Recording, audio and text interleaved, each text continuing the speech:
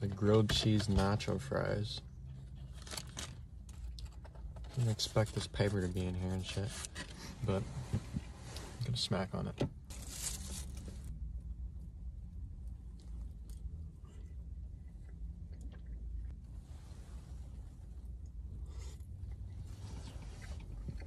It is pretty good though, even though it does look like ass.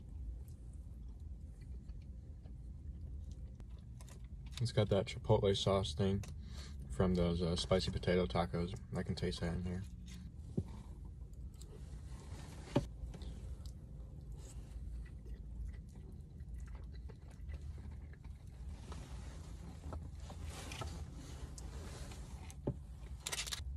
Just a straight hunk of cheese.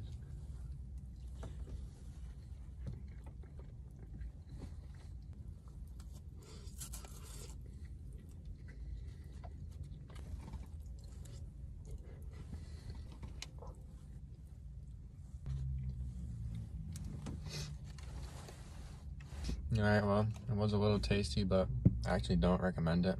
Just because there's a lot more better stuff to get at Taco Bell. Like this.